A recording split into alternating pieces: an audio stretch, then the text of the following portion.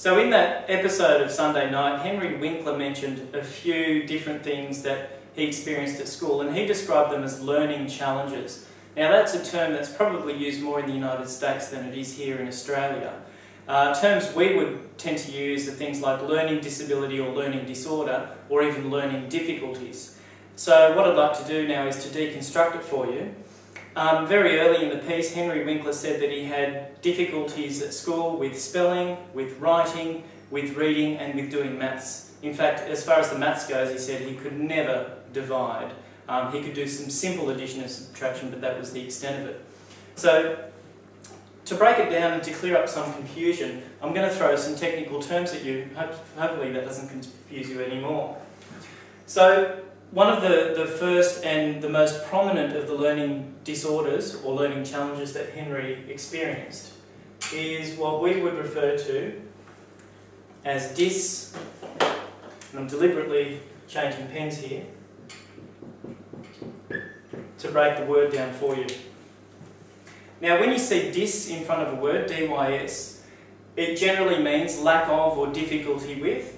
And so um, that's the prefix, and the root word here is lexia. Lexia simply means reading. So dyslexia is difficulties with reading.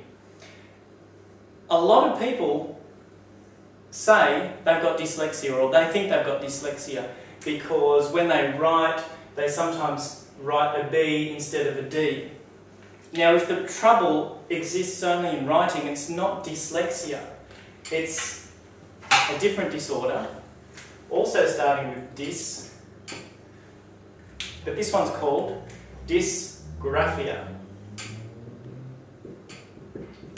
Right? Graph, to write, difficulties writing. It's otherwise technically referred to as a disorder of written expression in the American uh, Psychiatric Association's Diagnostic and Statistical Manual. So Henry Winkler has both of these, dyslexia, difficulties reading, and dysgraphia, difficulties with writing.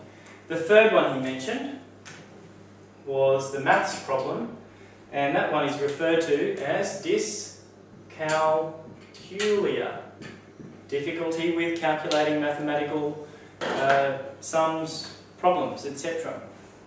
So these are the three primary learning difficulties that Henry Winkler mentioned that he had, and in fact they're the three most common of the learning disorders. There are many other types of learning disorders, but they're quite rare, and we're not going to go into them in this segment.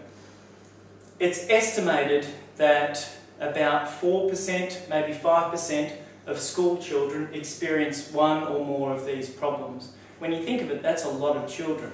Um, so thankfully these days, children get screened for these things fairly early on, so around the ages of 6 and 7.